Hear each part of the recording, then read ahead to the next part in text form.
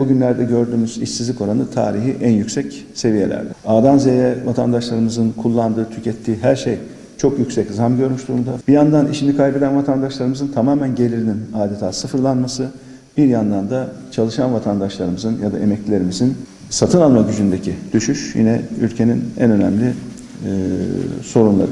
Devam Partisi kurucu genel başkanı Ali Babacan, birinci olan il kongresi için Samsun'a geldi.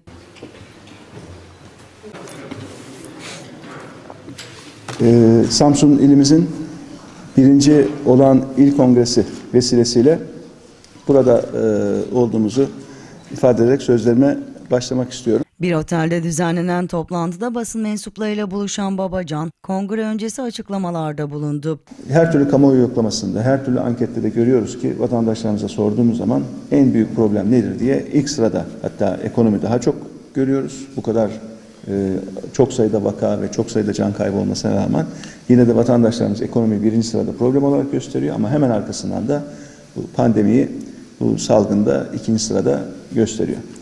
Fakat bu problemlerin çözülmesi e, sadece ekonomi politikalarıyla mümkün değil.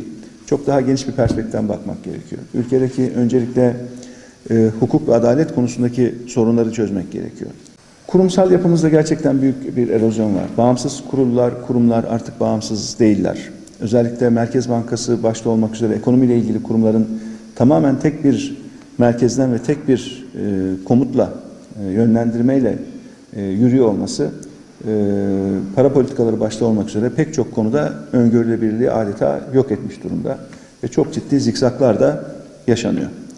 Babacan yaptığı konuşmada ülkenin işsizlik sorununu ele aldı. Bugünlerde gördüğümüz işsizlik oranı tarihi en yüksek seviyelerde. Ee, hayat pahalılığı maalesef çok büyük bir problem. Ee, bu arka arkaya gelen kur artışları fiyatlara çok olumsuz şekilde yansımış durumda.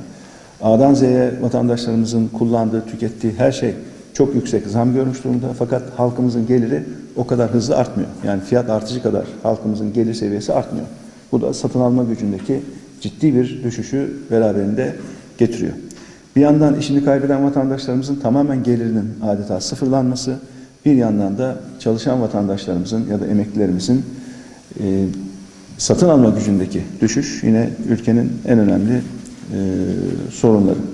Tabii problemler listesi uzun ama e, bütün bunların çözümü için e, değerli arkadaşlar öncelikle Türkiye'nin temelleri tekrar bir sağlamlaştırması gerekiyor.